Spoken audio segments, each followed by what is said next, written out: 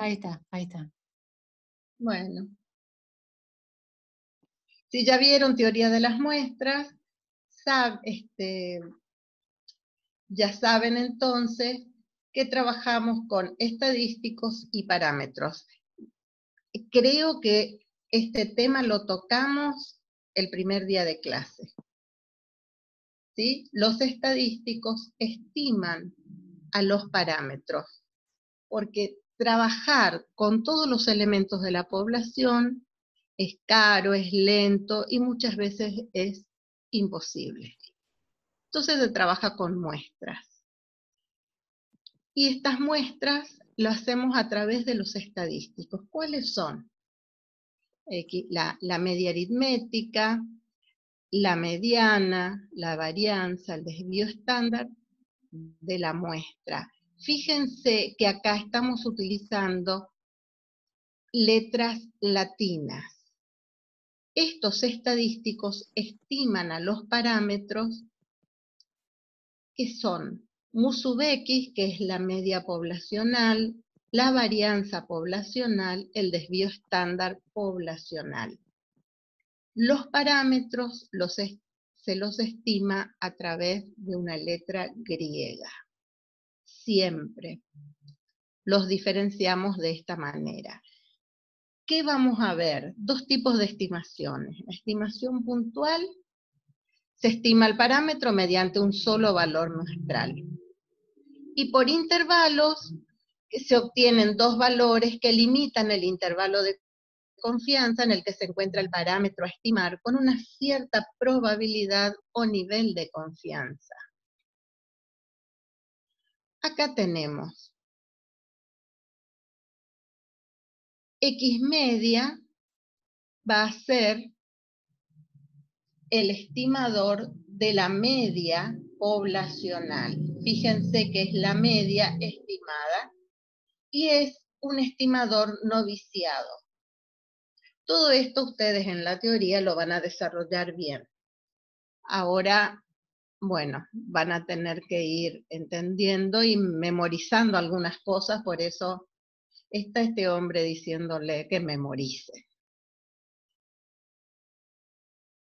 La mediana también estima a la media poblacional, la moda también, pero son eh, estimadores puntuales viciados. Y la varianza y el desvío estándar también estiman a la varianza y el desvío estándar poblacional y son estimadores viciados. Acá están las fórmulas desarrolladas. Ustedes recuerdan, utilizábamos en realidad la fórmula de trabajo. ¿Qué tenemos? La varianza muestral, la varianza corregida y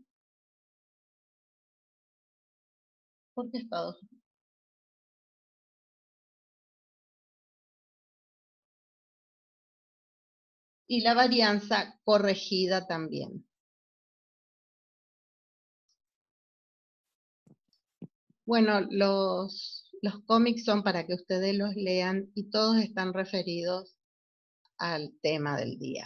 ¿Me puedo agregar algo nomás, Diana? ¿Puede ser? Por supuesto. ¿Vuelvo para atrás? Sí, sí, por fin. ¿Acá? Sí, sí, sí. Es, para aclararle nada más, ustedes lo van a ver bien en la teoría, pero ¿qué significa que esté viciado o que no esté viciado? Fíjense que ahí dice la media aritmética estima al promedio poblacional y es un estimador no viciado porque se puede decir que es igual.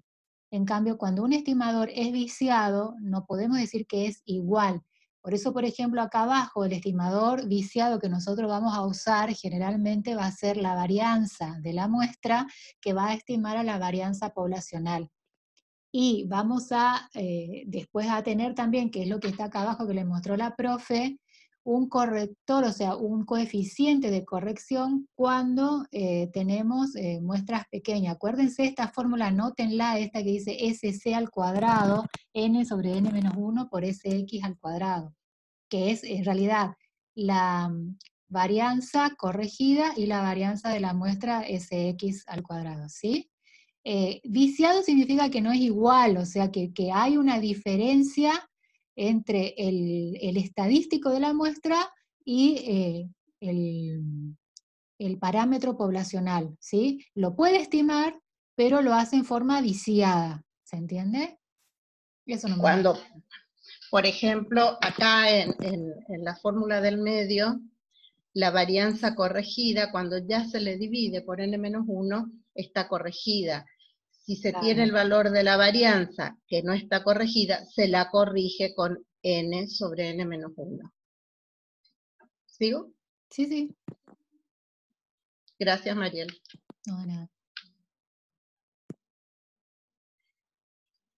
Bueno, y acá tenemos el cuadro comparativo, que a ustedes les va a venir muy bien para la teoría, ¿sí? Este, y es una repetición de lo que dijimos anteriormente. En la muestra, entonces, llamamos estadísticas o estadísticos, por ahí uno se confunde con los nombres, entonces es preferible, o yo les, suelo llamar estadísticos para que no haya confusión con las estadísticas. Fíjense que acá utilizamos una letra griega, es, es una rayita, ¿eh? y sale rayita cuando lo escribo y cuando aparece queda un, como si fuera un, puntito, una raya chiquita. Letras latinas. En letras latinas, sí, claro. eso ya habíamos dicho hoy. Son estimadores, mientras que en la población deben ser estimados. En la muestra, eh, una característica muy importante es que son conocidos y son variables.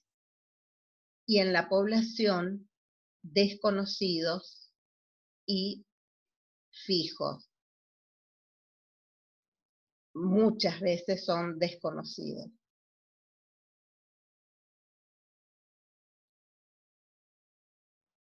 Bueno, acá tienen otro cuadro comparativo que está un poco borroso, por ahí podría intentar sacar una foto este, y volver a mandarles para que ustedes tengan como, como guía o que les sirva en algún momento. La estimación, ¿a quién le habla? Watson. Con intervalos de confianza es una de las formas más efectivas de inferencia estadística y se puede, ver a, diario antes de unas elecciones. ¿Qué tal?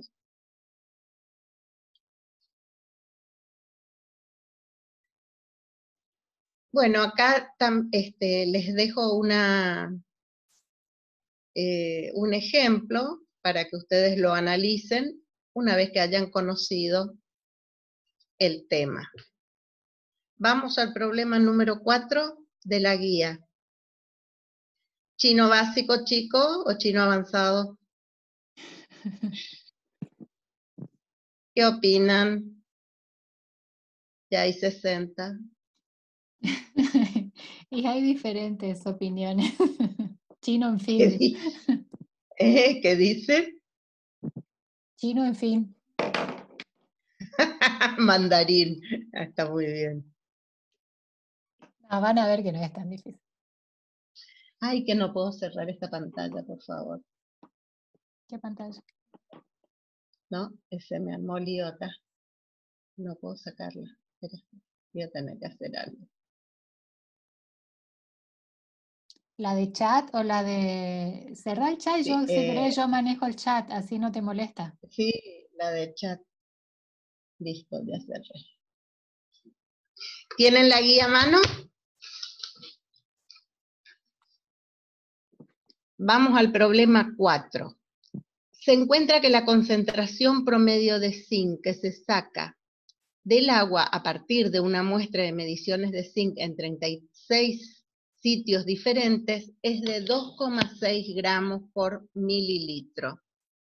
Encuentre los intervalos de confianza del 95 y del 99% para la concentración media de zinc en el río.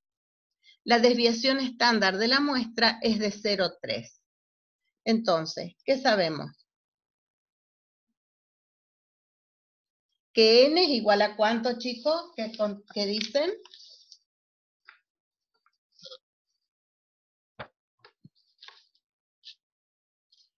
Que n es igual a, ¿dicen? 36, sí. A 36.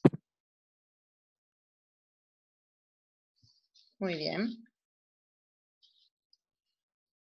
Eh, la media aritmética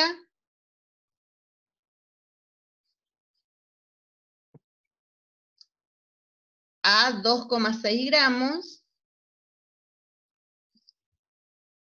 y el desvío estándar igual a 0,3. Esto para ambos casos que nosotros queremos hacer, del 95 y el 99% del nivel de confianza. Ahora bien, n igual a 36, ¿qué significa? Que la muestra es grande. Consideramos una muestra grande cuando es mayor que 30. Eh, tomamos 30 en la cátedra y en, muchos autores lo toman 30. Algunos toman la muestra grande a partir de 50. Les hago este comentario por si ustedes por ahí encuentran en algún libro. Pero nosotros tomamos que mayor que 30 ya es una muestra grande.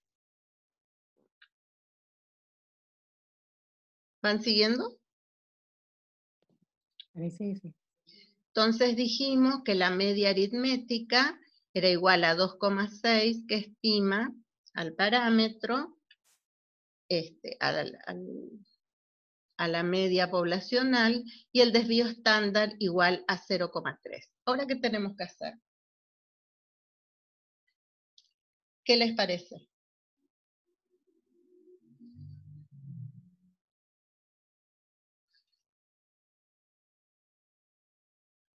Silencio de radio. Sí.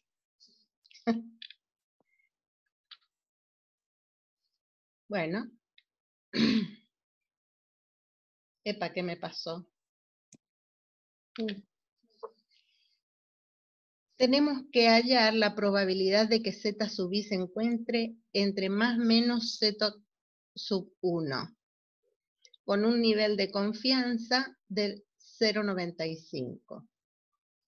Nosotros sabemos que todo el área bajo la curva vale 1 y dividimos en esta tabla, lo trabajamos de esta forma, la mitad de la tabla, esto lo, hemos visto en la clase pasada, la mitad vale 0,5 y la otra mitad vale 0,5.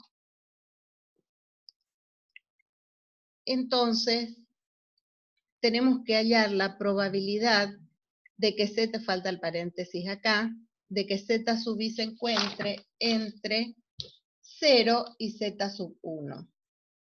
Voy a corregir, chicos. Ah.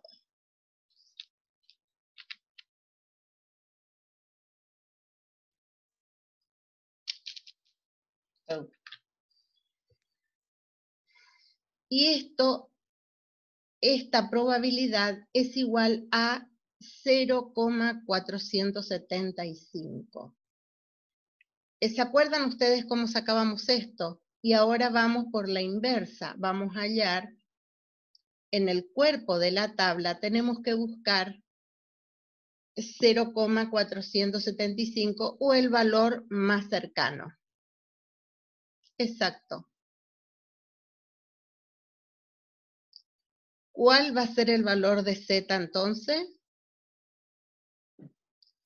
1,96. ¿Se entendió esto? Es el caso inverso que vimos la clase pasada. No sé si contestan. Eh, no.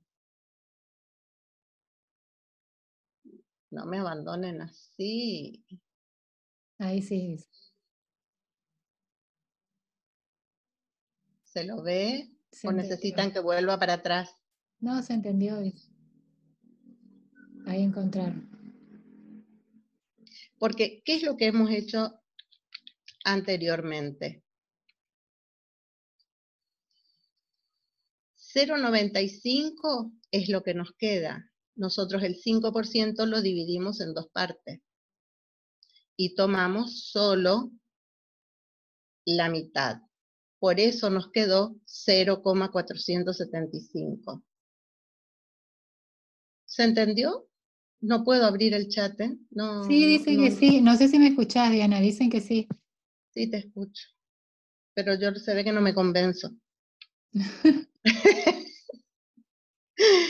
bueno, entonces tenemos que z sub i va a ser igual a 1,96. Y vamos a utilizar esta fórmula. La probabilidad de x media más z sub 1 por el desvío estándar sobre la raíz de n mayor o igual que mu sub x. Fíjense que estamos estimando al, no, ese no, a la media poblacional. Y le restamos hacia el otro lado. Entonces es x media más menos z sub 1 por el desvío sobre raíz de n. Igual a cierto nivel de confianza, que en este caso va a ser es de 0,95. Habíamos dicho que la media aritmética era 2,6, si ustedes, este, no sé si van tomando nota o van anotando, 2,6 más 1,96, que es el valor de z sub 1, tenía que decir, por 0,3 sobre raíz de 36 mayor o igual que mu sub x y 2,6 menos 1,96 por 0,3 sobre raíz de 36 igual a 0,95 como nivel de confianza. ¿Quieren hallarlo? Bueno, más que si quieren, hállenlo.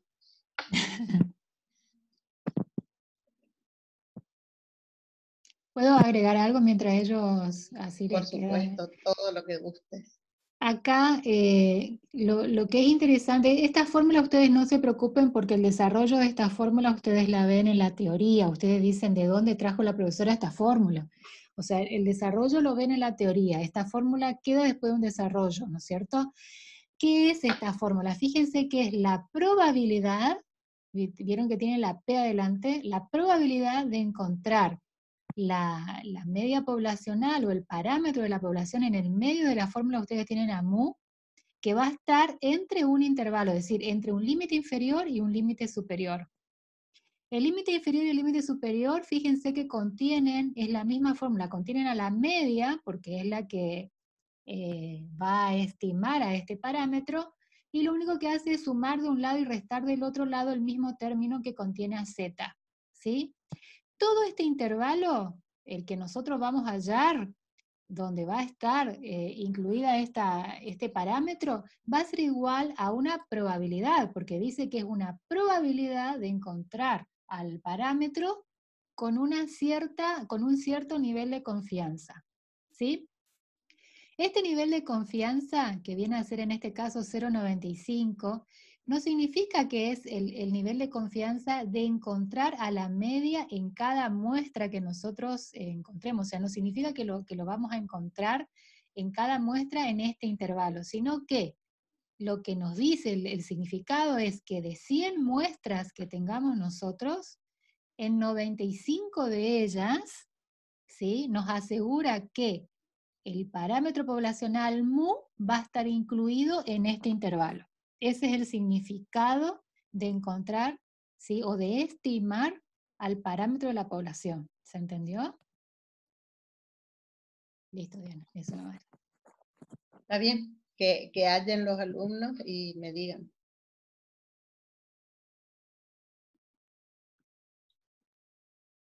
Ah. 2,698, bueno, tienen diferentes. Claro, fíjense siempre los, eh, vos no sé si estás mirando, Diana, el chat, si no te digo. Me dijeron... No, no puedo entrar al chat. Bien, bien. 2,5 está bien, 2,502 y con 2,698 del otro lado, que debe ser redondeado 2,7. Solamente tengan cuidado, chicos, con los, eh, con los signos, ¿sí? Te escucho. Eh, se redondea nomás, aunque dé eh, más dígitos. Miren, eh, siempre es eh, conveniente que pongan entre dos, tres decimales. Está bien lo que me dijeron, está bien los resultados que pusieron. Diana, ellos pusieron 2,698. Sí, sí, está perfecto. Está perfecto. Sí, sí, sí. Yo estuve más vaga. Exacto. Y le redondeé. Exacto. Pero ustedes no lo tienen permitido. No, está bien porque se ve la diferencia. Sí. Bueno, ahora van a hacer ustedes la otra parte. Mismo problema, pero con el nivel de confianza del 99% o de 0,99. Entonces, otra vez tienen que hallar el Z. A ver, vamos haciendo. Vayan haciendo y van diciendo. Eh, cuando van a eh, contestar, pongan, abran el micrófono y ciérrenlo. Entonces yo me entero rápido también.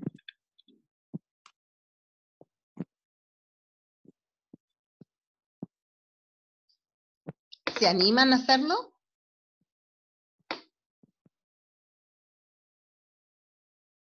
Sí. Muy bien. Me encanta.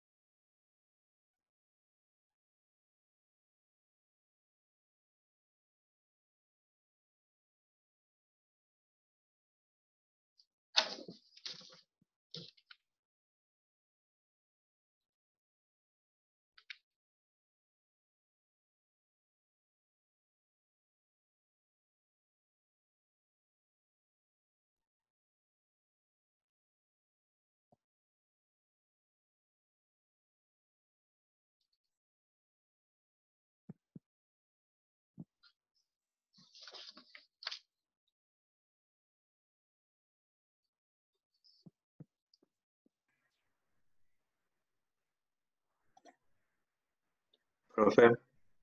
Sí. ¿Qué pasa si, eh, si mi P está, por ejemplo, eh, si es 0,99 sería 0,495? Y en la tabla tengo 0,4949 y 0,4951. Contestaba bien. Ah, ¿Qué hacías en ese caso? Se supone que tengo que elegir el, más cercano, pero... Exacto. El más cercano o podés hacer un promedio de ambos. Ajá, ok.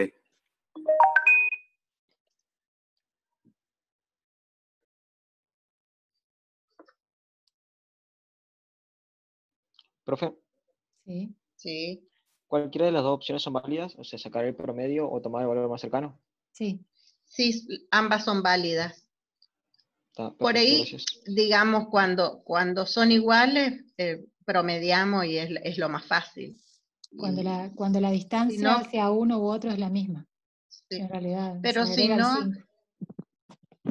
eh, no hay problema. Eh, digamos, no es un factor por el que van a desaprobar o se les va a poner mal el ejercicio toman ustedes, adoptan un criterio. Muchas veces uno dice, bueno, yo siempre tomo el primero o el más cercano o el segundo. Es el, criterio que toma el investigador. Lo pueden escribir también. Z igual a tanto, tomo por tal criterio, ¿sí? Entonces, ¿cuánto les da Z? 0,495. Muy bien. Eso no, es Z, eso no, es Z. No, perdón. No, que muy bien. Z, pregunté. ya, ya. 2,5 es Z1. 2,5 y qué más? Eh, 2,5, 4. Y 4. No. Y la TEM de la Z, 8, dice Oriana.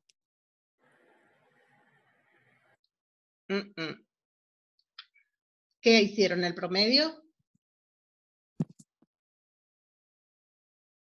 No tengo acá la tabla. Ay, justo la guardé. ¿Tenés la tabla, Mariel? Veo si la tengo a mano, porque yo la tengo, uso la tabla online. Recién Acá llevé para el otro acá lado. la Ya tengo. vengo. No, voy a Acá la tengo, la tengo.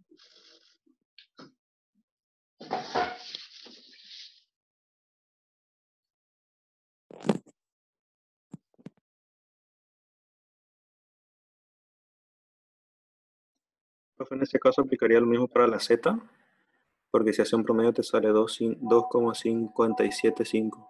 Exacto.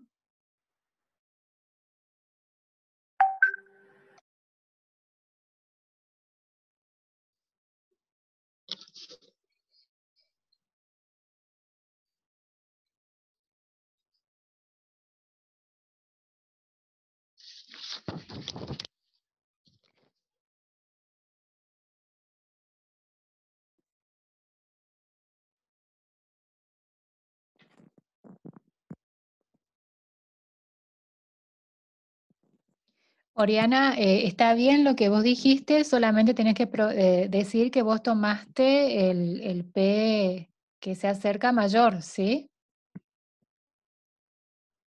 Profe, una consulta. Sí. Sí. Eh, por ejemplo, sería el valor 2,5 y, por ejemplo, si se encuentra entre el 6 y el 7, yo saco el promedio. Y me, o sea, el promedio me da bien. ¿Cuál de los dos valores tomo? ¿O ¿El 6 o el 7? O ninguno de los dos. ¿Por qué 6 y 7? Eh, como dijo el profesor hoy, dijo que eh, tomó el 2,5. eh, sería fila 2,5 y columna 6, entre 6 y 7. eh, de- dentro de la tabla. Eh, tabla. no, pero el Sí, puedo 0,40 el 0,495, ¿quién está hablando? Así me... ¿Cómo es tu nombre? Eh, ah, Ezequiel, Ezequiel Almirón. ¿Cómo? Ezequiel, Ezequiel, eh, vos tenés que buscar el 0,495 en la tabla, ¿sí? sí. En- está entre dos valores. ¿Entre cuál dos valores está? Entre el 6 y el 7. Es, ¿Por qué entre el 6 y el 7? O sea, sería 2,5, eh, la, la fila 2,5 y la columna entre 6 y 7, porque de ahí yo saco el promedio. Eh, es, eh, No, vos no 0,49 sacás, por vos no, estimar. vos no sacás todavía el promedio. Vos tenés que buscar el 0,495, que es una probabilidad, va a estar entre dos probabilidades, una menor y una mayor.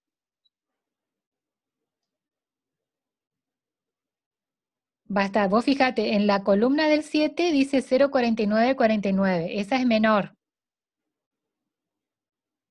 Y después está Sí. 0,4951, que es la columna del 8, Ah. y esa es mayor. sí. El 0,495 está entre esos dos valores.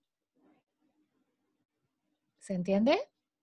sí, sí, está. En- Gracias. claro, Sí, sí. entonces el Z sería 2,575, porque está en el medio de los dos valores.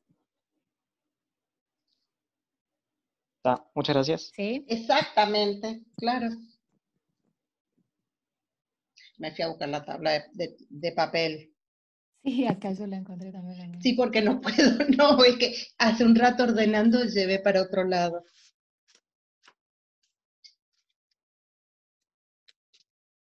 ¿Se entiende?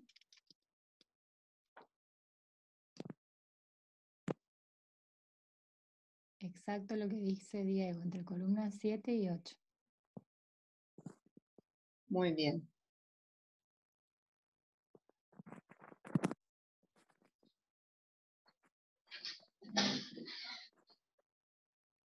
Fíjense que esta, esta es la parte más difícil. El Z, una vez que tienen el Z, lo ponen en la fórmula y listo.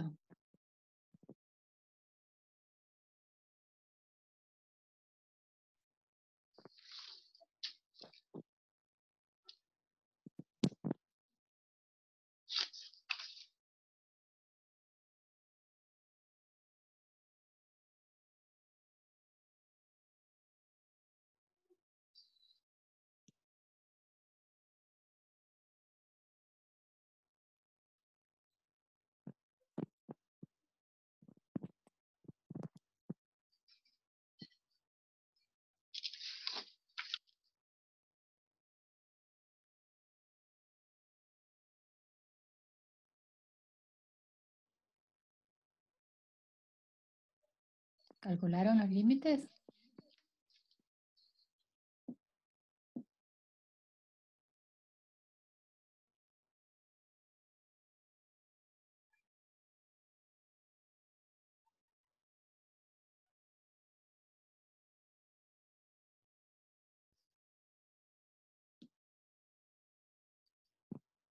qué no me aparece? A vos tampoco te aparecía este, el chat, ¿eh? Eh, no, lo tenés que cliquear, eh, no, lo, no lo debes tener ahí donde dice más o donde, fíjate cómo te aparece, Diana. Sí, no, no. Eh, sí, yo le doy clic y no, no aparece. Ah, ah. Bueno, eh, no, no importa, por eso les dije que empiecen a hablar nomás porque. Ahí da un. ¿Cómo van, chicos? Karina dice 2,995 y 3,845. ¿Los resultados? Sí. Mm, mm. ¿Dos coma nueve? Sí. Y tres A ver. ¿quién, quién afina mejor?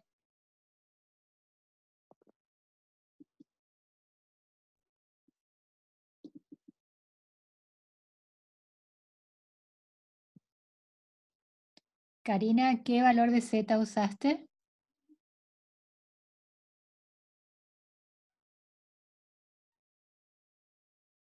Ah,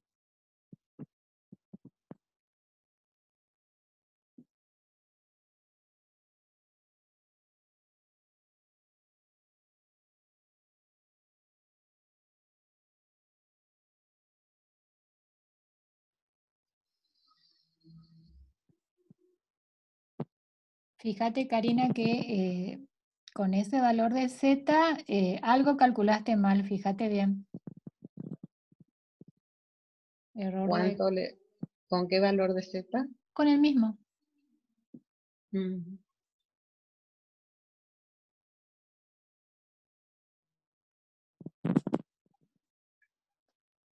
Ahí mejor, Diego, 2,72 y 2,47. Muy bien, más aproximado. María Agostina también.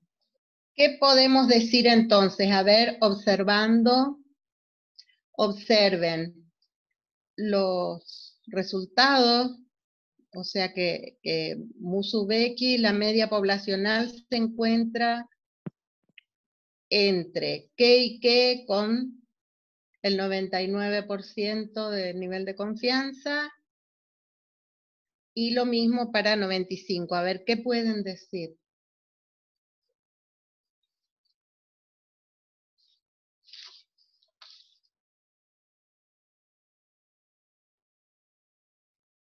Sí, la probabilidad de que la media poblacional se encuentre entre 2,7 y 2,5 cuando el nivel de confianza es de 0,95. Y la probabilidad de que la media poblacional se encuentre entre 2,73 y 2,47 cuando el nivel de confianza es de 99, 0,99 o 99%. ¿Qué, ¿Qué les parece a ustedes? ¿Qué dicen? Pongan micrófono y tiren ideas. Fíjense, Atropéllense. Claro, ¿qué pasa con los límites y el nivel de confianza? ¿Qué relación hay?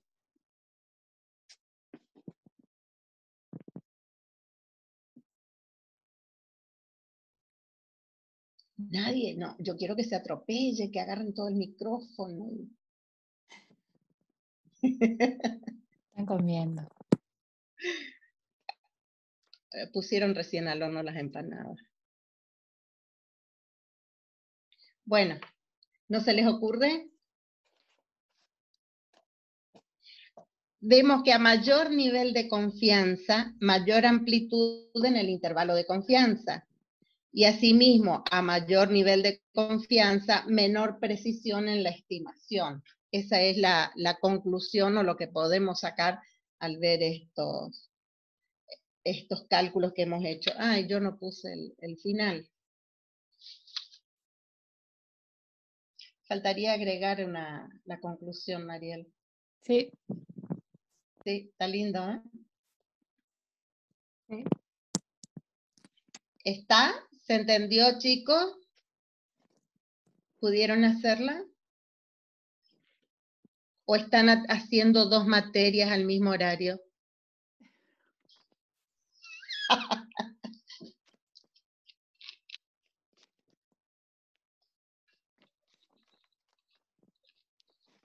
De nuevo, profe, podría repetir, dice.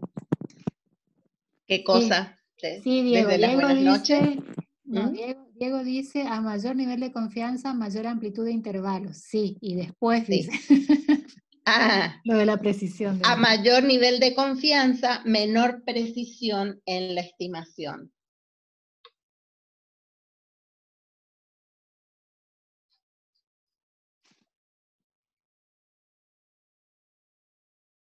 Y lo podemos agregar después a esto. ¿eh?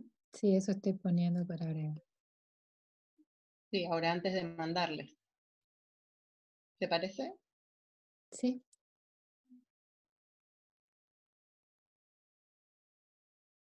Mariel, creo que se fueron deformando. Bueno, esto no es para hablar ahora, está- estamos grabando. Este, con, con los cambios de Profe. versión.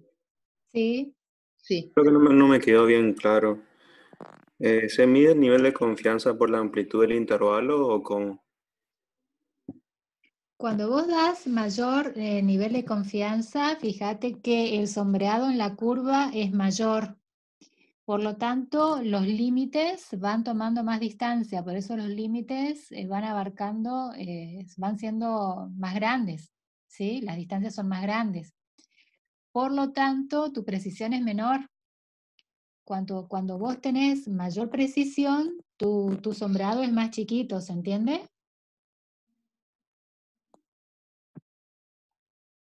Mejor, a ver, este, eh, ¿cómo es tu nombre? Matías Insoran. Matías. Sí. Eh, no, no te veo, estamos sin cámara, ¿no? Pero, a ver, nos encontramos. Y después Mariel me pregunta, ¿y qué edad tendrá Matías? Y yo le voy a decir con un nivel de confianza del 95%, y Matías puede tener entre 19 y 21 años. Entonces me pregunta con un nivel de confianza del 99%. A ver, entonces le voy a decir, bueno, Matías puede tener entre 18 y 22 años. ¿Se entiende? Es como que para no equivocarte con un 99% de confianza, para no equivocarte vos tenés que Seguro que la agrandar. Claro, tenés que agrandar tu intervalo para no equivocarte, ¿se entiende?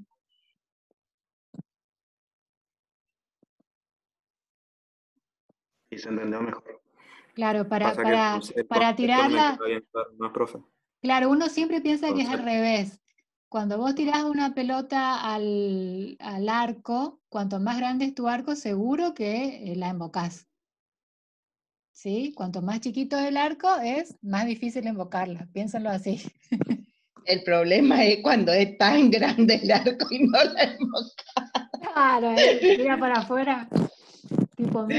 ¿Podemos pasar el ejercicio?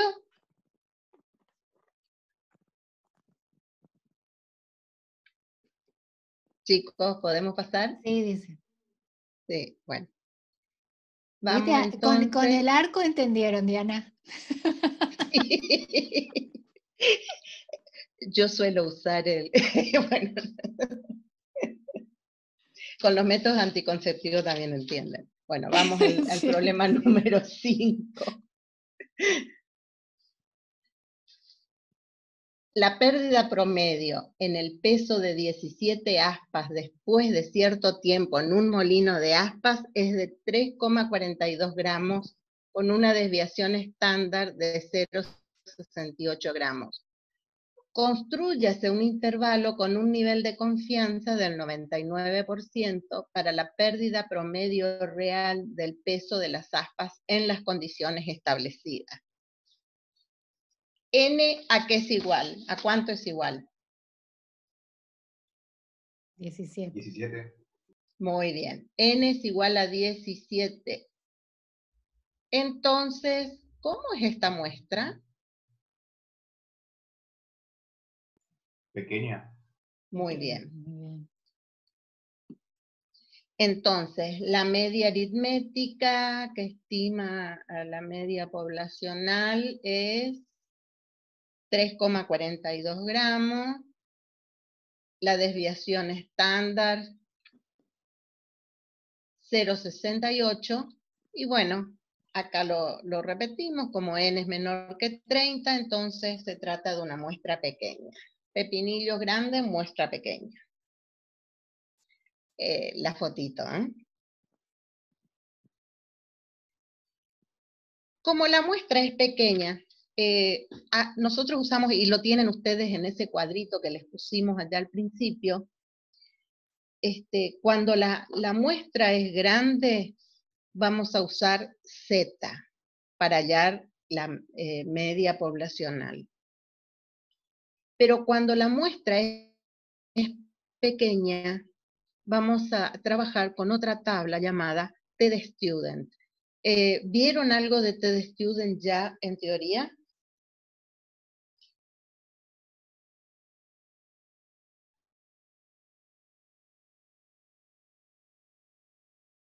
¿Qué dicen? Nada. Nada, no vieron. No, no dicen nada. no vieron. Si no hubieran. No, si vieron recién normal, así que no creo que hayan visto. Cuando la muestra es pequeña, entonces se utiliza TED Student. Y vamos a la tabla número 2. Y en la tabla número 2 vamos a buscar para 16 grados de libertad con un nivel de confianza del 99%. Vayan a la tabla número 2, chicos. Bueno, acá tienen para que este, ustedes alternen su, la lectura del material con estos cómics que son apropiados y son del tema. Y uno aprende mucho con esto.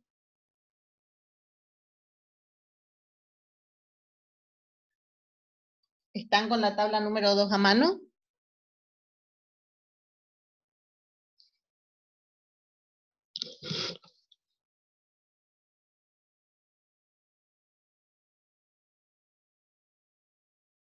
Están buscando. Sí, dice Diana. TED Student otra vez. Como ya vimos en el capítulo 6, el estadístico solo tiene una descripción. El concepto de grados de libertad, entonces, ¿lo ven por primera vez? A ver, ¿qué dicen?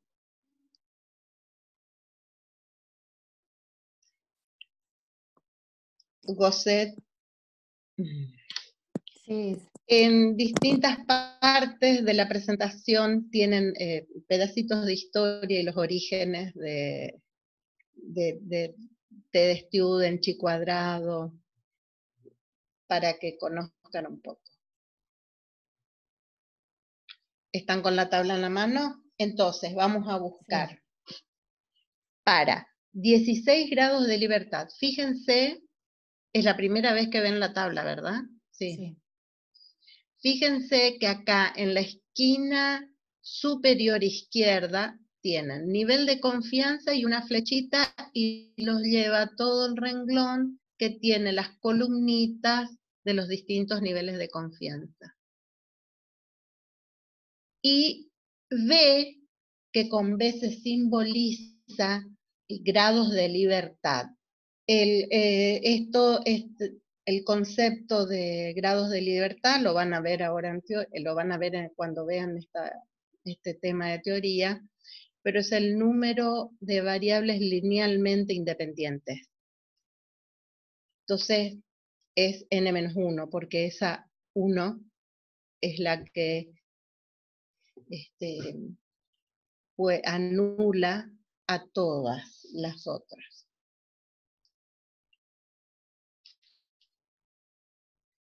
Entonces, 16 grados de libertad. Vengo, está acá. Nivel de confianza 99. ¿A qué me apunta? 0,99. 16 grados de libertad, 2,92. ¿Se entendió?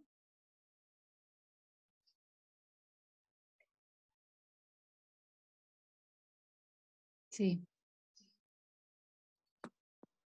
Es muy sencillo cómo se saca esto. Entonces, eh, utilizamos TED-Student para 16 grados de libertad y un nivel de confianza del 99%. Tenemos un T sub 16,099, fíjense cómo lo escribí, igual a 2,92. La fórmula es similar a la fórmula que, vieron de Z, donde la media poblacional... Diana, hay preguntas. Espera un ratito. Sí, sí, sí. Eh, preguntan por qué 16 y no 17. ¿Le contestás vos o le contesto yo? Eh, porque es, eh, siempre es, por lo que dije, siempre es un grado menos, n menos un grado de libertad. Por eso, si el n era igual a 17, los grados de libertad son 16. 16 es el número de variables linealmente independientes. Claro, recuerden que el grado de libertad, no, no, no, el grado de libertad se calcula con la, el n de la muestra restándole 1. Ese no es que el grado de libertad es 1, Elías, ¿sí? Le restas 1 siempre al valor de n, y esos son los grados de libertad. María Pero eso siempre para muestras pequeñas, ¿no? Siempre para muestras pequeñas. Sí. Porque se, se encontró que se trabaja mejor, con más precisión, con T que con Z, para muestras pequeñas. Se me hizo algo en la pantalla y no sé qué es, a ver si lo... ¿A vos también? Sí. Eh, a ver. Ahí está, se limpió.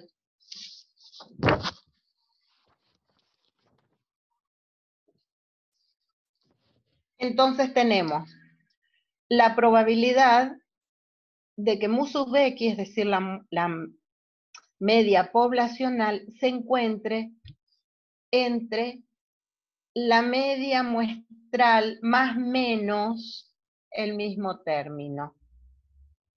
T sub 1, que es el que hallamos acá con la tabla, por el desvío sobre la raíz de n menos 1.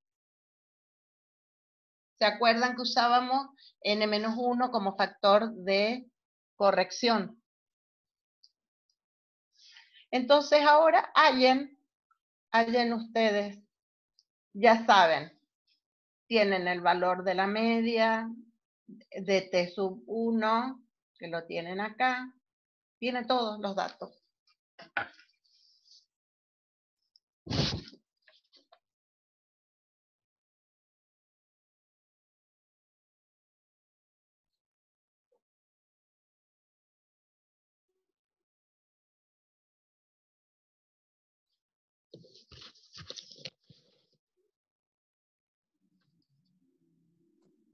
Dice María Agostina, 3.92 y 2.92, ¿puede ser? Sí. Muy aproximado. Muy bien.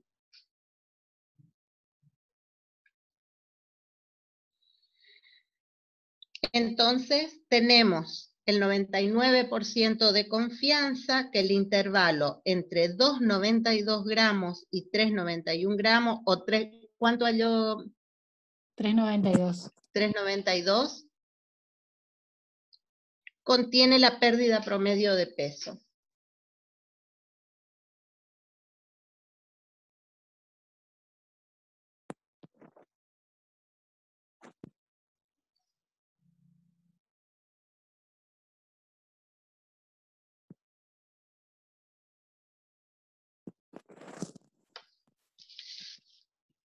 Les aclaro nomás, Diana, eh, porque preguntaron por el si es que se ocupa para, para, para muestras pequeñas. El, grado de libertad lo hallamos para muestras pequeñas porque es con el dato que entramos en la tabla de TED Student, ¿sí? Es por eso que se halla en este caso nada más, porque la tabla nos pide, ¿sí? Va a ser un valor de TED Student para grados de libertad diferentes, nada más que por eso.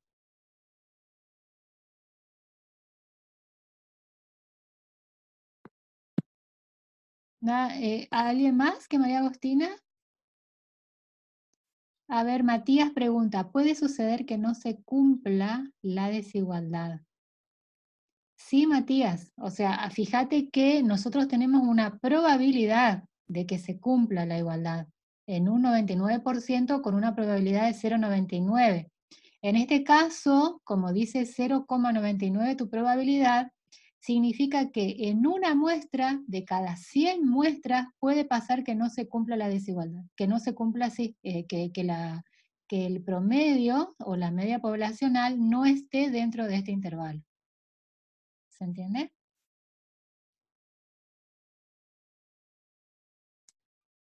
Diego, muy bien, también lo que te dio.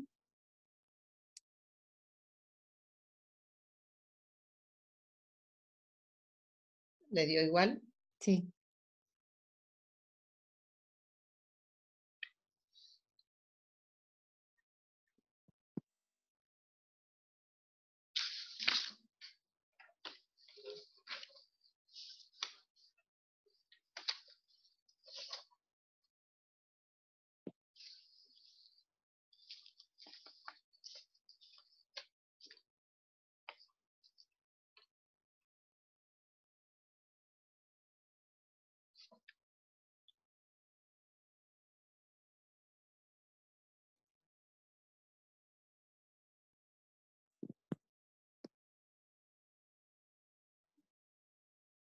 Esto es muy importante, sí. En la práctica, los intervalos de confianza basados en T dan resultados bastante buenos. Incluso cuando la distribución poblacional tiene la forma solo aproximadamente parecida a una montaña. Este, habrá querido, o, más se dice una campana. Y tengan cuidado que eh, a veces se pone que la distribución es normal y con eso no significa que se va a utilizar Z.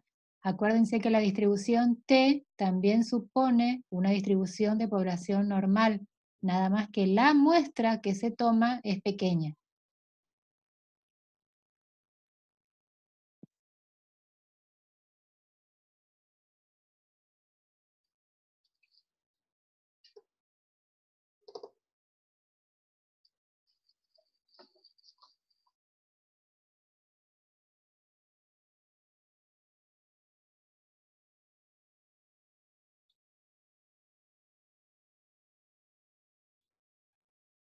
Sí, ya está. Sí. Bueno, vamos al problema número dos. Yo creo que hasta lo pueden hacer solos a este. Sí, vamos a ver las, las puntuales, a ver si quedó claro eso bien. Bueno. Entonces, el problema número dos, que se trabaja acá con los resultados provenientes de los ejercicios. 6 del trabajo práctico 1, 4 del trabajo práctico, ah, no dice, 2 y 3 del trabajo práctico 3.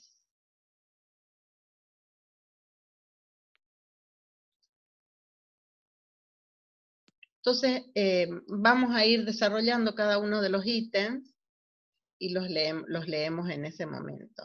Vamos al ítem A, que dice, estimaciones no viciadas o insesgadas puntuales del promedio de la viscosidad de un lote contenido en la población de cierto proceso químico bajo estudio y de la varianza de esa variable.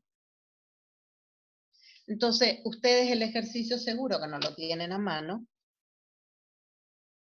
¿verdad? Fíjense que parte de los ejercicios realizados anteriormente de, de descriptiva, donde ustedes calcularon la media. Y les dijimos que después los íbamos a usar.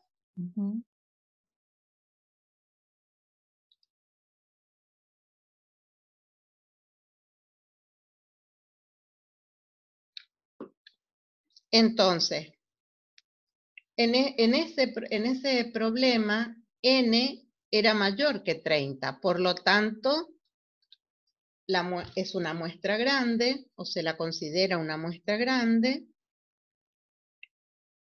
y eh, en este caso no va a hacer falta eh, aplicar el factor de corrección de n sobre n menos 1, que nos va a pedir enseguida. El parámetro poblacional, promedio poblacional, es 9,74. Nos pide estimaciones no viciadas o insesgadas. este término sesgo, sesgado, es la primera vez que lo escuchan. ¿Qué contestan? No. ¿Ya lo escucharon?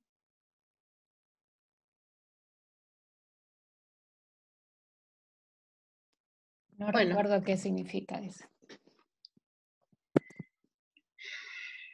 Sí, es la primera vez. Es, es un error. Son errores, son vicios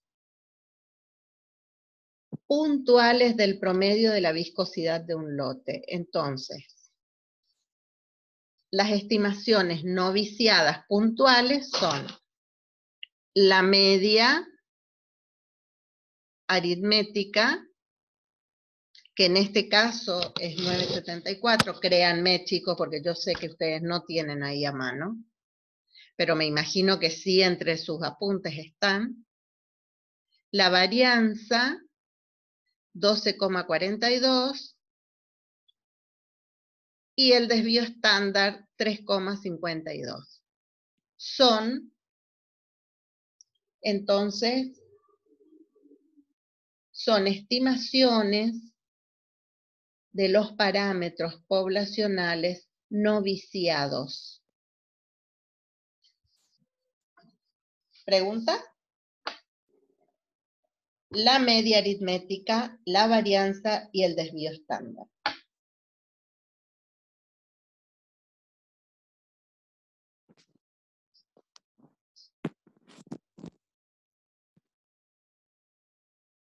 Seguimos.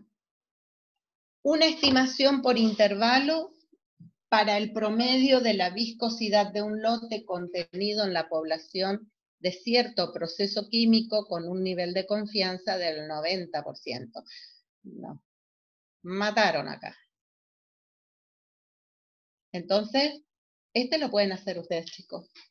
Es lo mismo que estuvimos haciendo eh, hace un ratito en los otros ejercicios.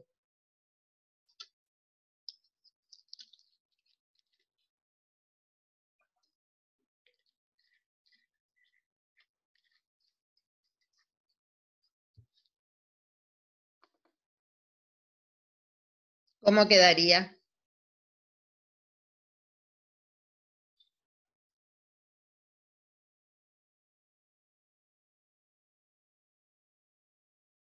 Así tienen los tres casos.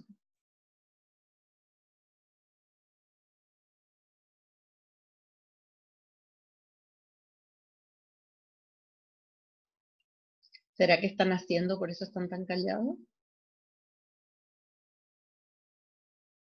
Dicen, no dicen nada.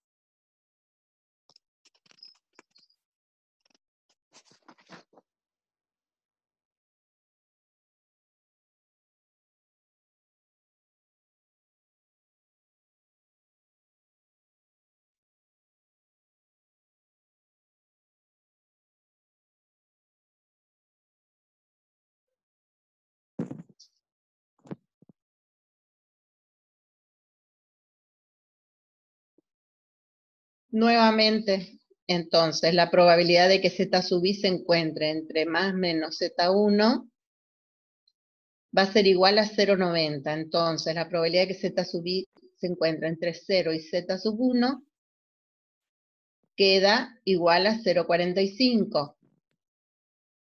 Ahora, me gustaría que ustedes vean en, en la tabla por qué Z sub 1 les da 1,64. 1,64,5. Sí.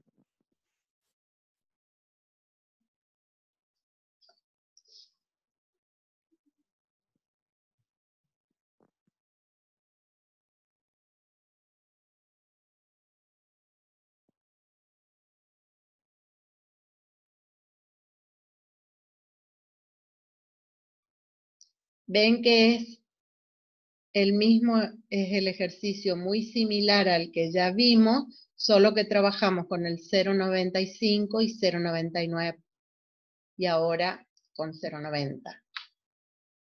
Son los tres casos más comunes.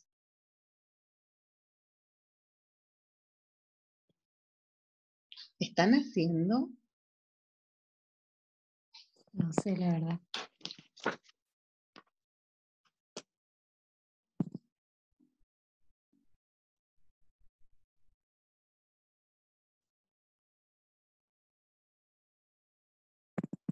Se perdió. ¿Quién es Arre? Ah, eh, tenía las iniciales. Poné tu nombre, por favor. No sé quién sos, Arre. El grupo de corrientes ya se fue. ¿Dónde te perdiste?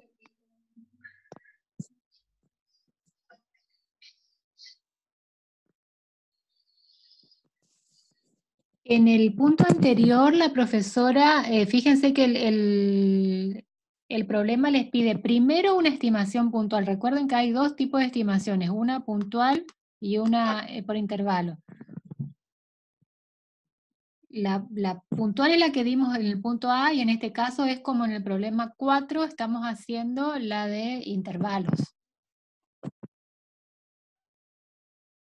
¿Por qué usarías la tabla T de Student? Arre está diciendo si tiene que usar la tabla T de Student. Pero ¿cuánto era N? Claro. ¿Cuánto era N? ¿Qué dijimos al principio? Claro, ahí Jessica le contesta, N es mayor a 30. En el, en el punto A, Diana, ¿podemos volver al punto A un ratito? A ver si les aclaramos a ese. A ver, acá lo que le dijo la profe, N es mayor a 30. ¿Sí? Entonces, eh, les pide una estimación no viciada del promedio. La estimación no viciada del promedio es la media. ¿Está? la profesora les puso igual que eh, siempre la varianza y el desvío estándar van a estimar también a la varianza y al desvío estándar poblacional. Recuerden que tanto la varianza como el desvío estándar son no viciados, pero en este caso, le dice la profe, como n es mayor a 30, no se corrige el vicio o el sesgo, que significaría lo mismo, el error, ¿sí? como les dijo ella, no se corrige porque n es mayor a 30. O sea, fíjense que acá lo importante es poner siempre como puso la profe, siempre. ¿Cuál es n? ¿Sí? Definir siempre n. Y ahí Jessica, como le dice, si n es pequeña, o sea, menor a 30, ahí recién vamos a utilizar student y ahí recién vamos a corregir la varianza o el desvío estándar. La media nunca se corrige porque la media es un estimador no viciado, tanto para muestras pequeñas como para muestras grandes. Por favor, chicos, eso bien en claro, porque se van a equivocar Listo, Diana, eso no me quería. Es que están viendo por primera vez esto. Si hubieran visto ya la teoría, era, era otra cosa. Claro, y además se pierden con el N porque no saben cuál es el ejercicio. N era mayor a 30, no me acuerdo cuál era Pobre.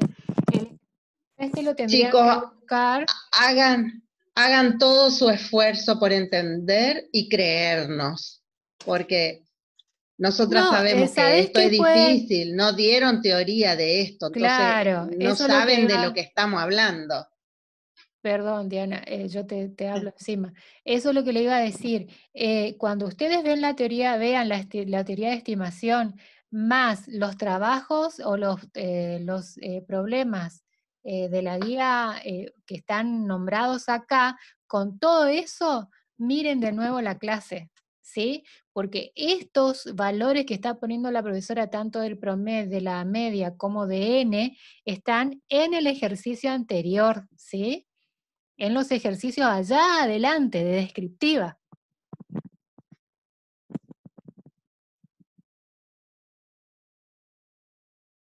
Seguimos. ¿Y acá, pescaron? Eh, ¿Puedo seguir o no calcularon? Acá, ¿cómo andamos, chicos? Fíjense que en este caso nosotros ya dijimos que eh, la media, sino que nosotros queríamos estimar puntualmente, decimos que es directamente a la media que se calculó allá en descriptiva. Ahora, si queremos darle un intervalo, tenemos que hacer eh, o calcular, ¿no es cierto?, de esta forma, con un nivel de confianza. Acuérdense que en estadística siempre es bueno dar niveles de confianza, niveles de significancia, nos van a escuchar decir después, ¿sí? Porque siempre hay un error, nunca decimos que un error, es, un, valor es verdadero, siempre es preferible dar un intervalo con un nivel de confianza, ¿sí? Es como... Más no jugarse. Claro, es como más científico. A ver, Dice Diego, entre 10,15 y 9,33, con Z 1,64. Más, está aproximado. Sí. 10,56 y 8,92. Pero me interesa seguir porque lo otro no han visto y son las 10 y cuarto ya. Dale.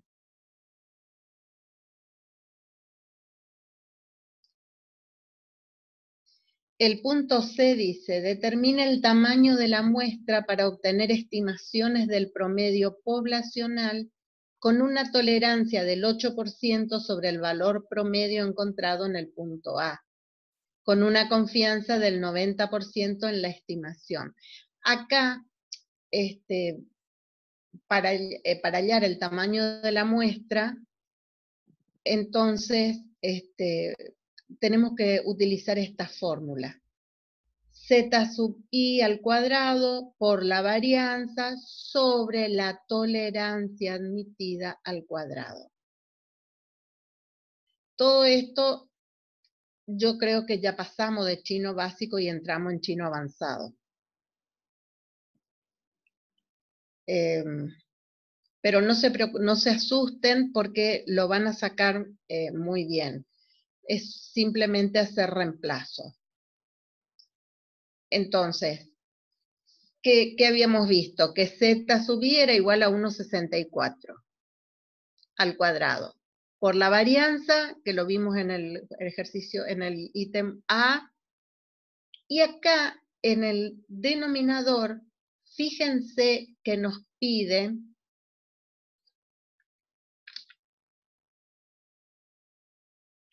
con una tolerancia del 8% sobre el valor promedio. El valor promedio era 9,74. Entonces, 0,08 por 9,74 es la tolerancia, al cuadrado es la tolerancia admitida. Esto les da 55. 55 es mayor que 50 que era el tamaño de la muestra. Claro, puse, eh, pusimos mayor que 30 y no que la muestra era igual a 50. Y tenemos con eso que la muestra es insuficiente, porque este, nos pide que la, muestra, que la muestra sea de 55 y resulta que solamente tomamos 50 elementos. Por eso dice que la muestra es insuficiente. esta solo era eh, la fórmula y el reemplazo de sus valores. ¿Se entendió acá que es el 8% del promedio, tal como dice acá?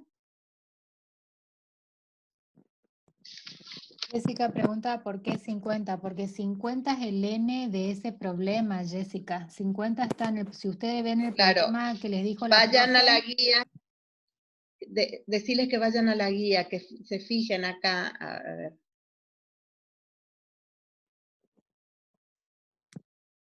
¿Dónde es la, el 2?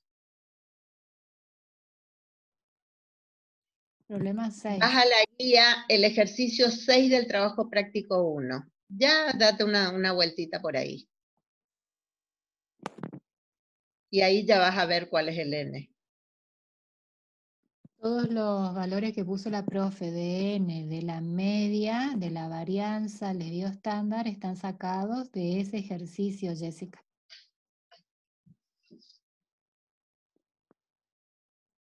Mm.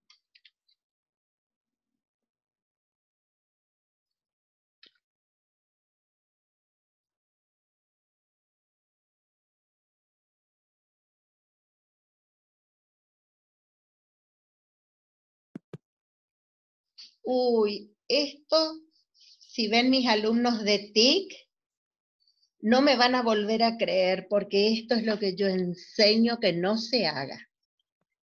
Simplemente copié todo el ejercicio, eh, se los tiré, pensando en que después lo tengan escrito este, cuando ustedes eh, hagan su lectura. Pero ahora vamos a ver el problema número 7 y con los datos de los ejercicios número 5 del trabajo práctico 2 y número 4 del trabajo práctico número 3. El de las válvulas defectuosas. Salgo de esta pantalla vergonzosa y voy... Pero si no, no había forma de que estuviera. Y vamos a ir resolviéndolo dice, una estimación puntual no viciada del promedio de las válvulas defectuosas encontradas en la caja. Nuevamente van a tener que creerme, o ustedes tienen a mano el ejercicio resuelto, entonces me ayudan. ¿Silencio de radio? Sí. Sí. Ya les autoricé, ya les dije que pueden abrir micrófono y hablar. Bueno. Es que no suelen imprimir la guía, entonces la deben tener. Dentro del. Sí, como yo. Me tuve que ir a buscar el papel. Bueno, entonces, eh, para este ejercicio, eh, la media era igual a 3,22 ¿Y cómo era un estimador cómo? No viciado. La media aritmética es un estimador no viciado de la media aritmética poblacional. eso es todo lo que nos pide. Estimación puntual no viciada del promedio de las válvulas defectuosas encontradas en la caja. En este caso, les voy a aclarar, eh, n era igual a 23, no creo que me... No sé si está escrito, Mariel, me parece que nos olvidamos de poner. n era igual a 23. Por lo tanto, la muestra es... ¿Mm? Me parece que dice menor a 30, ¿no? Bueno, sí, 23 menor que 30, entonces la muestra es como pequeña. Pequeña, dice Jessica. María Agustina, todos dicen. Ahora el ítem B. Indique cuáles pueden ser las estimaciones puntuales viciadas del mismo promedio de todas las válvulas defectuosas. Hoy cuando estaba haciendo un paseíto por la parte teórica, mostrándole haciendo el cuadro comparativo, yo lo pasé y les dije esto, este, que les, ¿se acuerdan? Estimaciones puntuales viciadas de la media poblacional pueden ser la mediana y la moda, que en este caso era 2,8 la mediana y 2,41 la moda. ¿Está? Vamos al ítem C. Una estimación puntual de la varianza y del desvío estándar.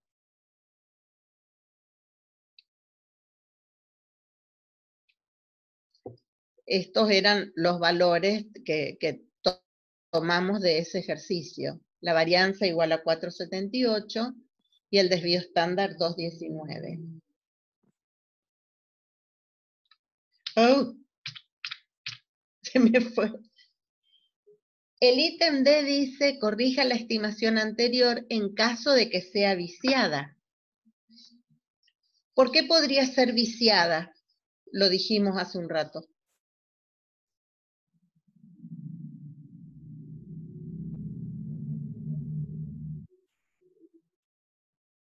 Podría ser viciada porque n es menor que 30. Entonces sí se corrige el vicio n es igual a 23, acá aparece.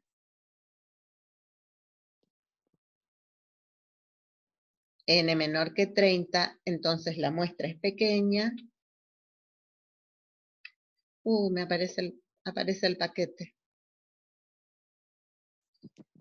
Y de esta forma se corrige el vicio. La varianza corregida va a ser igual a la varianza por n sobre n menos 1. Es igual a 4,78 por 23 sobre 22. Igual a 4,997.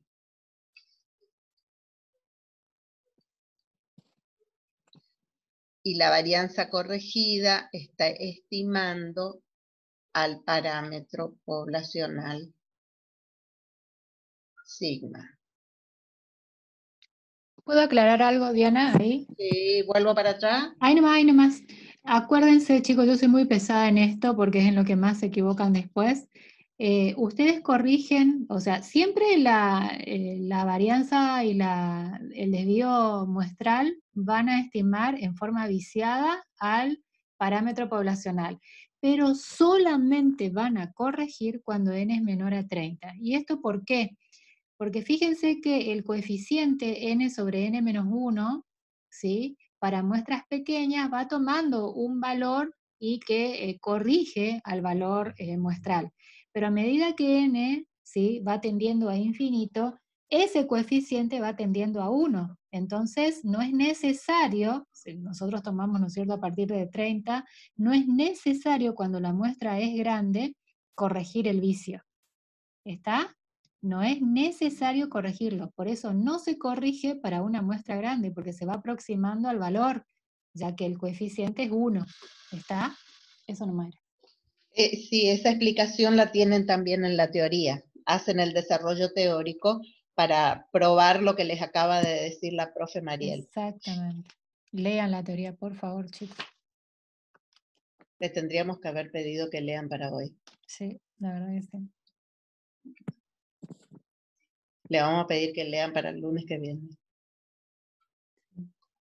El ítem E. Obtenga una estimación por intervalos para el promedio poblacional de válvulas defectuosas con un nivel de confianza del 99%. ¿Y acá qué les parece, chicos? ¿Qué vamos a usar? Si n es igual a 23, nos pide una estimación por intervalos para el promedio poblacional de válvulas defectuosas.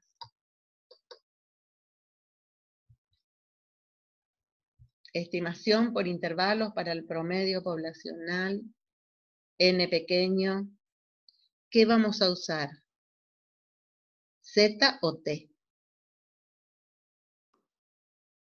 T. Studen, dice Diego. Jessica Studen. Y acá ya está escrito encima. Gosset calculó tablas de la distribución T para diferentes tamaños muestrales. Y bueno, ¿Qué sí, te, le puedo dejar que hagan ellos y si querés pasamos o después volvemos en todo caso. Dale, dale que hagan. Ah, sí. Pero, eh, a ver, como la muestra es pequeña,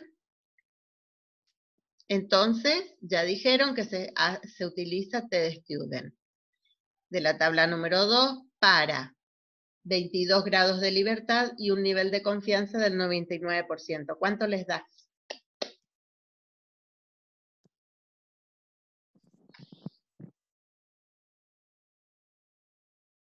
2,82 dice María Agostina.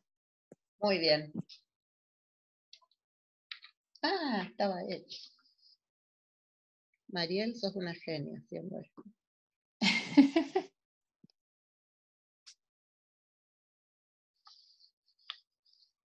Muy bien. Entonces ahora, como el T sub 22099 es igual a 2,82, puede, calculen, ¿fueron tomando nota ustedes de las fórmulas?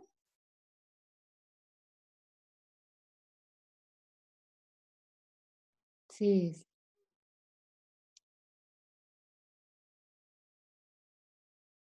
¿Quién puede estimar tranquilidad de conciencia? ¿Quién puede estimar la tranquilidad de conciencia? Qué genial. Eh, ¿Quieren calcular o voy pasando? Porque ustedes lo, mismo lo van a tener que hacer.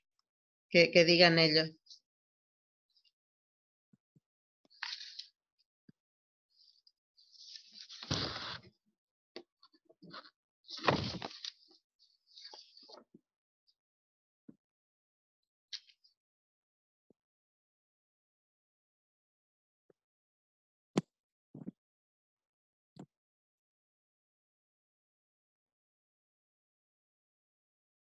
¿Contestan? No. ¿Quieren calcular, parece?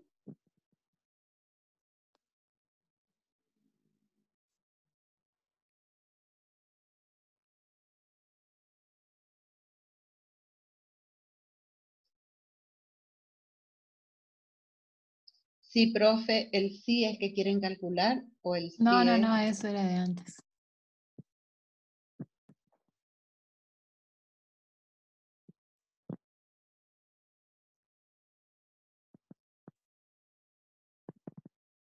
¿Están calculando, chicos? Sí. ¿Atuel Esperguín está?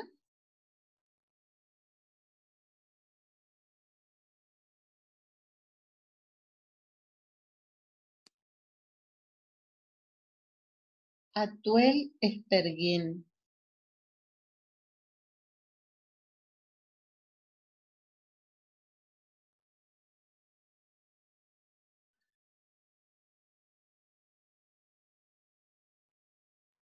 ¿Por qué no aparece ni con micrófono ni con la cámara apagada? No aparece nada.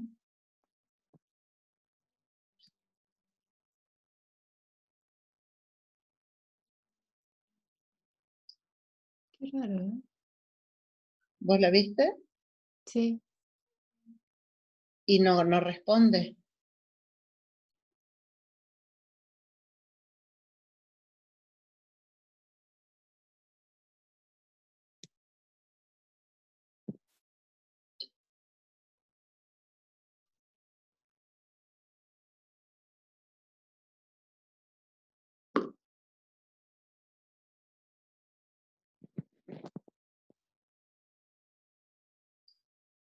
Muy aproximado, de María Agostina.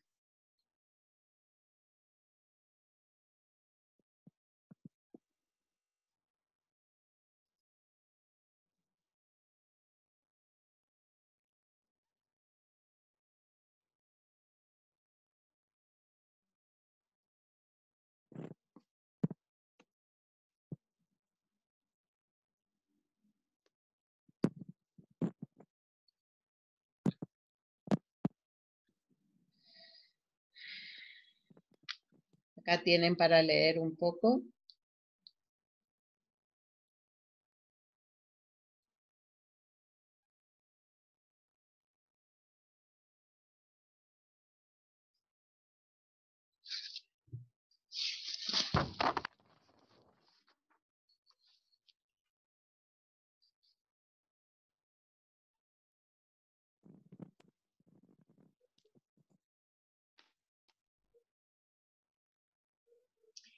El último punto dice, obtenga una estimación por intervalos para la varianza poblacional con un nivel de confianza del 95%. Fíjense que hasta ahora nos pedía intervalos de confianza para la media poblacional. Y ahora nos pide para la varianza poblacional.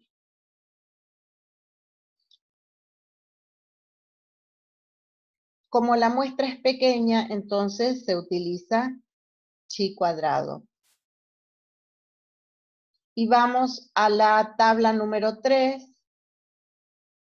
¿La tienen a mano?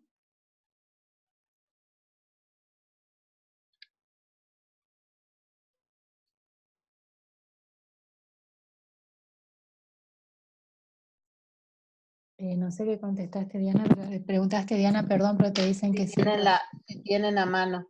Sí. Lo dejé a Tuel Esperguín en espera, Mariel, porque era muy extraño y además no respondía. Puede que haya salido y no... Es raro que no te marque nada. No sé si cuando te conectas con el celular, sí, no sé si cuando se conecta con el celular pasa eso o... Nunca he visto. sí, es raro. Raro. 36, ah, mira. ¿Quién es la que respondió? Bueno, vamos a la tabla número 3. Vamos a la tabla número 3.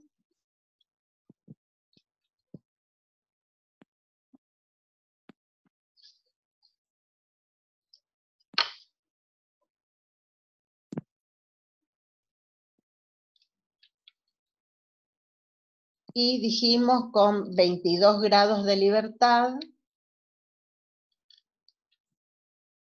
y el 90, perdón, acá soy yo la que 95%.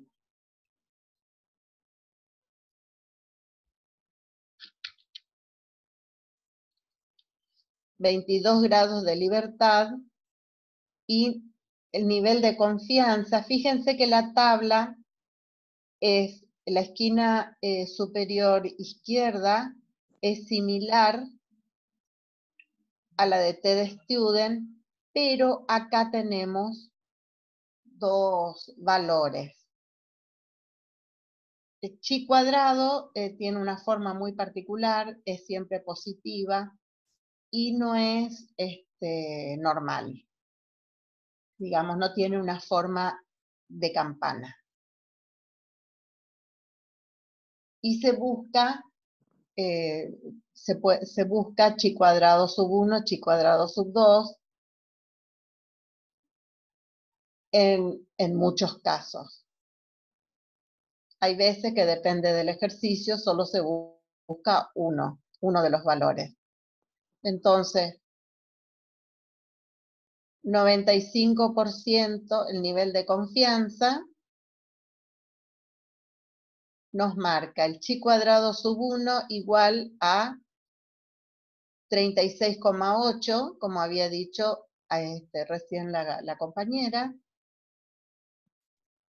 Y chi cuadrado sub 2 lo buscamos, fíjense que a la derecha, tenemos la izquierda y la derecha de la tabla,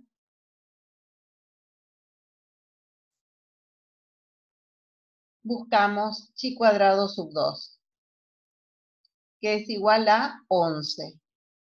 ¿Estamos? ¿Se entendió? Parece que sí lo encontraron.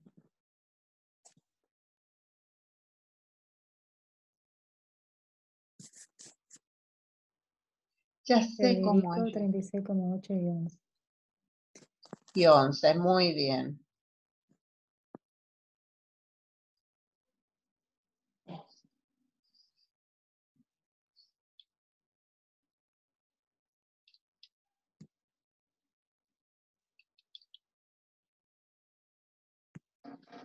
Treinta y seis coma ocho y once. ¿Alguna pregunta hasta acá? ¿De cómo hallar chi cuadrado sub 1 y chi cuadrado sub 2?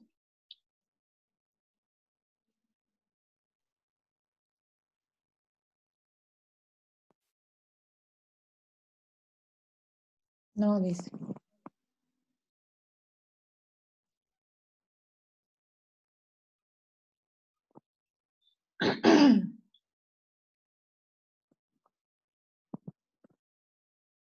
Entonces, chi cuadrado sub 1 dijimos 36,8, chi cuadrado sub 2, 11. Y la forma...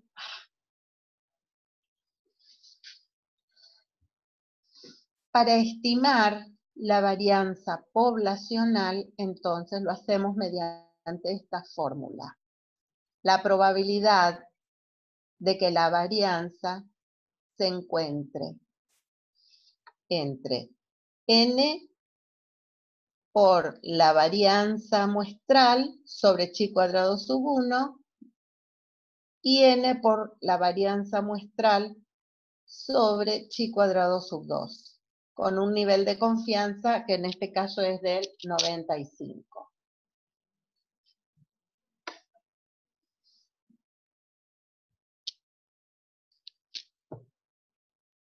Ay, no, yendo ustedes.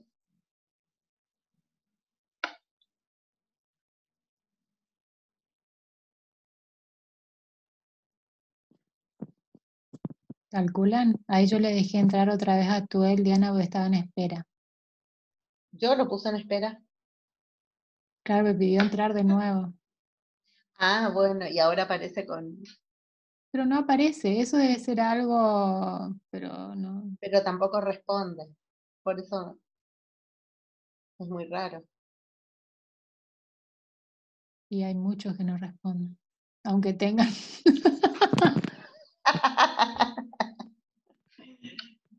2.98 y 9.99 puede ser, dice Federico. Muy bien. Y si hubiera pedido eh, la estimación del desvío estándar, ¿qué es lo que iban a hacer acá?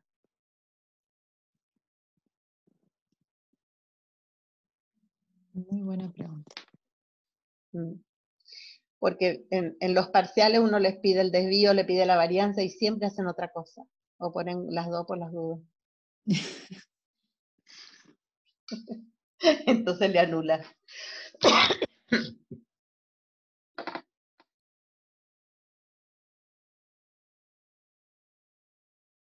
Nadie contesta. Mm.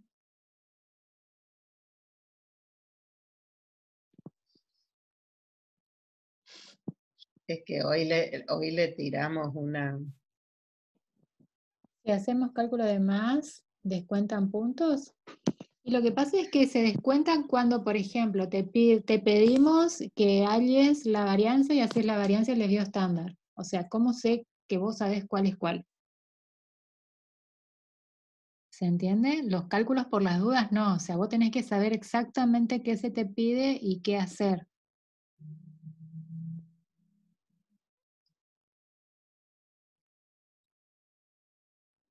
Otra vez Carl Pearson, creador del chi cuadrado. Y eh, el último punto que dice determine el tamaño muestral, bueno, es, lo mismo que hemos visto recién. En este caso, con todos los datos que ustedes ya tienen, acá dice con una tolerancia del 5% del valor encontrado en A y una confianza del 90%. Eh, yo creo que las preguntas más van a venir eh, cuando ustedes hayan visto la teoría y estudiado, ¿no? Porque hoy les tiramos una especie de bomba. Fíjense acá, en este ejercicio, que n, el n necesario para resolverlo es 496 elementos que debería haber tenido la muestra y tenía 23. Mm, Súper insuficiente, una muestra muy insuficiente.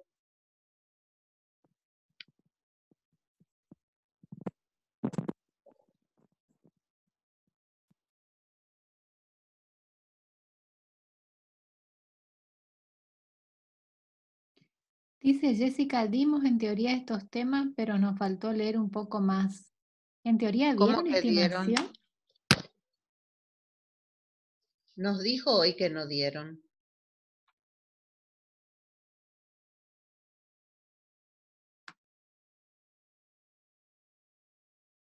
Sí, dieron, ¿Cuándo dice. ¿Dieron? ¿Cuándo rindieron el segundo parcial?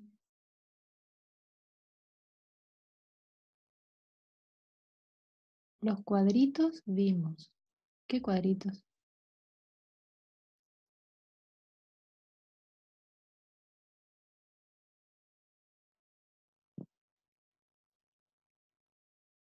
El manejo de, los de las tablas. Ajá. Ah,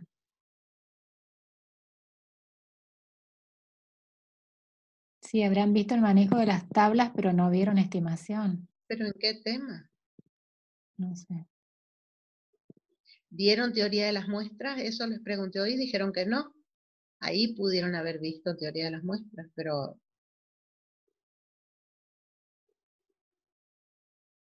Ah, les enseñó a manejar las tablas nomás. Sí.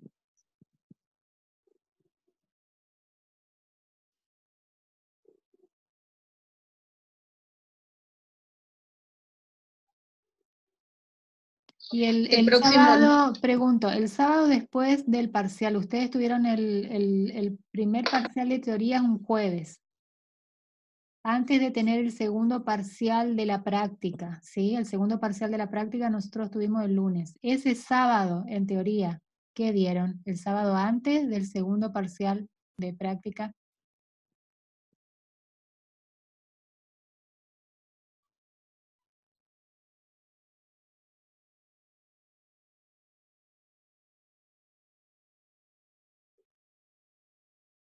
Pueden poner el micrófono y hablar, chicos.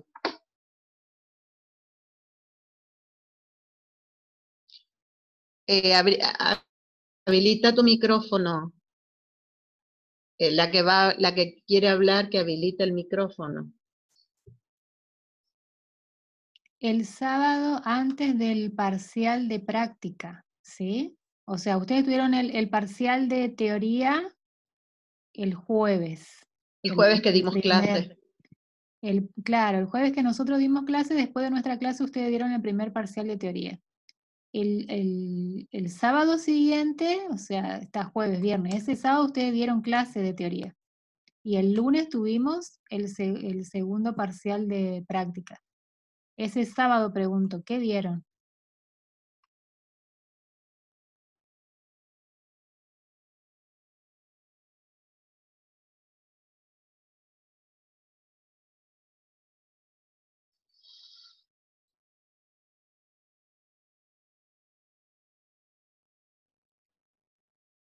El manejo de las tablas el sábado.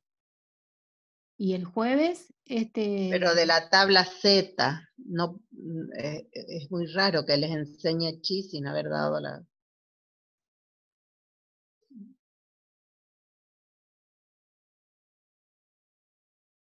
Y bueno, y después el próximo jueves, ¿qué dio la profe? Y les tomó el otro parcial. Y el sábado, porque ya pasamos otro jueves y otro sábado. ¿Cuándo rindieron el segundo parcial? El, no, el, el sábado rindieron el parcial, entonces el jueves dieron la tabla y el sábado el parcial. Y bueno, pero el sábado anterior y el Pero jueves la no pueden tabla haber Z. dado, bueno, pero no pueden haber dado tablas dos días. Si me dicen que el sábado antes de nuestro parcial dieron tabla, ¿no pueden haber dado tabla el jueves también?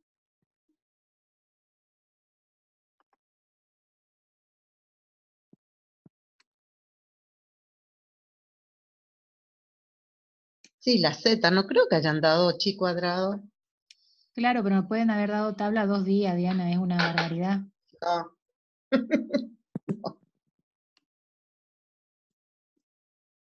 ¿O no estuvo nadie en la clase o qué pasa? ¿Por qué no me responden?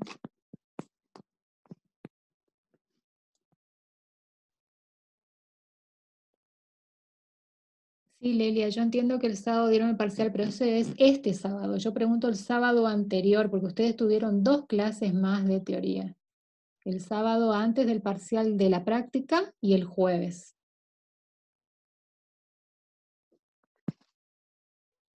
Porque deberían estar adelantando los temas, ya que dan dos días de teoría. Ah, el sábado antes del parcial hicimos ejercicio de la guía. La profe nos explicó cómo reconocer los ejercicios. Ahora me cierra. Repaso. Ah, ok. Después dieron las tablas.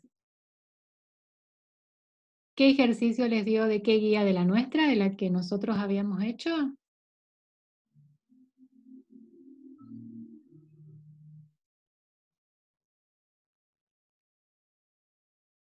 ¿Qué ejercicios vieron? Respondía a dudas de la guía. Mm. ¿Y por qué no nos preguntaban a nosotros?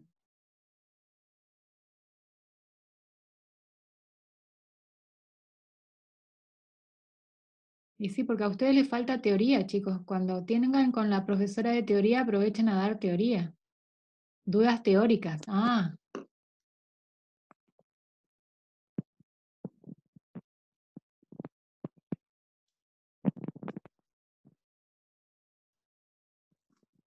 ¿Dieron nuevos ejercicios?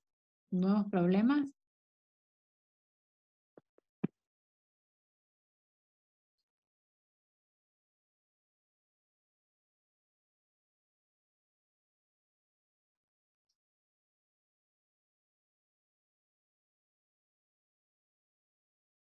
Ok. Tengo que sacar ¿Y, nuevos ejercicios también? La aprovechamos la profe. No, nuevos problemas no digo. Bueno.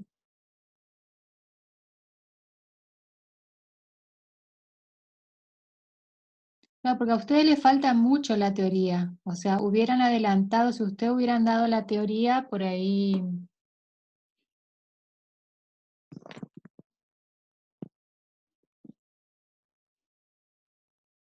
Ok. Bueno. Ah, bueno, eh, la próxima clase entonces vamos a dar teoría de decisión estadística. Sería muy interesante que leyeran antes el tema. Esto es la, guía número 10 y, esta son muy importantes para eh, su, su función como ingenieros, ¿sí? Eh, yo siempre les digo cuando, cuando doy estos temas que, mm, que en realidad cuando se empieza a poner linda la materia se termina, porque es lo que más van a ocupar el día de mañana como ingeniera, como ingenieros, perdón, eh, tanto estimación como test de hipótesis. el test de hipótesis es la, la última clase que tenemos en realidad, es la clase que viene, después viene el parcial, ¿recuerdan? Y después viene el recuperatorio, ¿sí? Así que para poder dar test de hipótesis, así como les dijo la profe, traten de leer un poco, ¿sí? Eh, para el test de hipótesis se basa mucho en lo que ya se dio, o sea, toda esta, toda esta parte teoría de las muestras es lo que tienen que leer para poder entender tanto estimación como test de hipótesis. Y tengan las tablas, ¿sí? Porque vamos a usar también las tres tablas para la próxima clase y cualquier duda que hayan tenido de resolver la guía número 9, traten de resolverla enterita, y así podemos charlarlo la próxima clase. Diana. Sí. Eh, sí, ya les dimos las fechas, ¿no? 29 creo que era el recuperatorio, 22 el parcial. Eh, no, 23 y 26 creo que es, 20... Bueno, fíjense la fecha que les dimos, chicos, porque no les quiero confundir ahora. Creo que la tengo acá anotadita. Me parece que 29 era. ¿Ves? Tercer parcial el 22 y el recuperatorio el 29. 29, sí. Me acordaba bien. Bien, perfecto, bien. Bueno, chicos, ¿alguna duda cruel que tengan o van a venir la semana que viene? Se pueden desaprobar dos, eh, o sea, una sola instancia puedes tener desaprobado para regularizar, Carlos.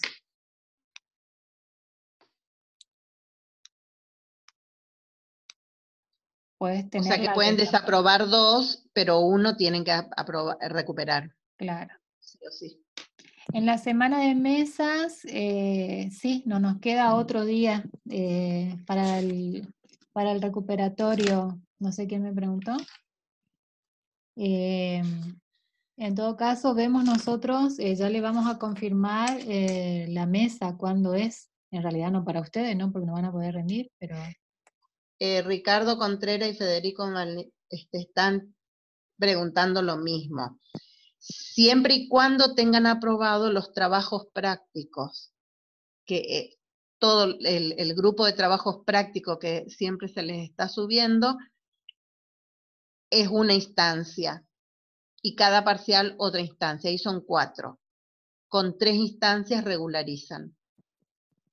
Ya les voy a subir las notas de los trabajos, chicos, ya me voy a ocupar de eso. En realidad, eh, los trabajos, acuérdense que no tienen nota, ¿sí? Yo les puse nota los primeros, eh, los otros van con aprobado o desaprobado, porque los trabajos prácticos les ponemos después en el sacado una nota figurativa nada más. La, nota que se promedia las notas de los parciales, pero sí o sí tienen que tener todos los trabajos prácticos eh, entregados. ¿Está? aprobados, digamos, entregados, aprobados. Fíjense que hay varios que desaprobaron trabajos prácticos. Ah, acá preguntan, eh, ¿en la semana de mesa será el recuperatorio? Sí, porque nosotros no sabemos todavía qué fecha es nuestra mesa. Hoy tuvimos, te acordás con Guillermo, una tentativa. Sí, posiblemente el 3, sí. Sí. Así que esa debe ser la semana porque 29 es lunes y el 3, claro. Claro, es semana de mesa, pero no nos queda otro. El trabajo práctico 2 también cuenta, todos los trabajos prácticos. Sí, sí, sí, todos, todos, todos. El 2, por ejemplo, yo no te voy a desaprobar, ¿sí? Nada más que voy a mirar si lo enviaste, Jessica. La autocorrección eh, te sirve a vos para saber si estaba bien o mal, ¿sí?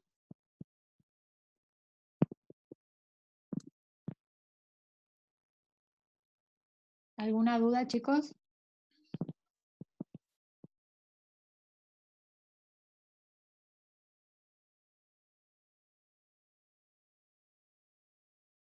Ninguna duda, dice. Bueno. Nos vemos la Gracias por haber venido. ¿Cómo? Si, eh, a ver, a ver, si con dos parciales aprobados.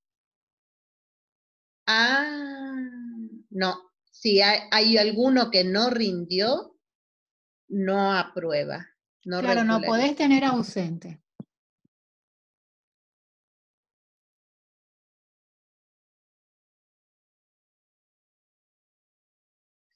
Ah, por eso que hoy ya vinieron menos. ¿Qué pasó hoy? ¿Tenían alguna otra clase? Porque hubo menos alumnos.